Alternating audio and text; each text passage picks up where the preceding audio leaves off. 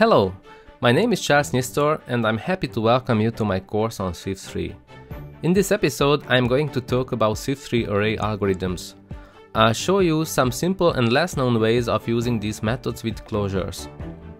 Sorting. Swift provides a set of methods to manipulate arrays and their content. You can sort an array in place, that is, by modifying the original array.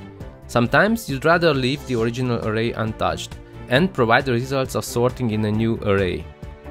Swift 3 brought some subtle naming changes.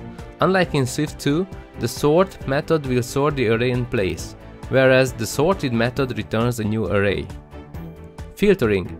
The filter method will return a new array that contains the result of filtering the original array. Rely on this powerful method whenever you need to filter an array, it's hard to find any excuse not to use the filter method and rather write your algorithm. Apply rules to each element in the array. There are certain cases when you need to modify each element of a given array. The map method will come in handy in such situations. It applies the rules we define to each item in the array and returns a new array which contains the result. Demo. All these methods can take a closure as an argument. Closures are self-contained blocks of code that you can pass around and use in your code.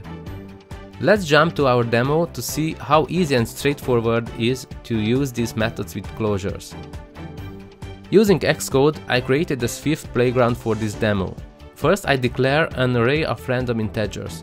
Next I sort the array in place using the sort method. The sort method receives a closure as the argument. I wrote the closure in its most concise form. There is no closure parameter or return type specified. The sort method makes it clear that a bool value must be returned by the closure. Swift provides shorthand argument names to inline closures. This let you refer to the values of the closure arguments by names using $0, $1 and so on. This way we can omit the argument list from the closure definition and the number and the type of the shorthand argument names will be inferred from the function type. Printing the array shows that it is indeed sorted now.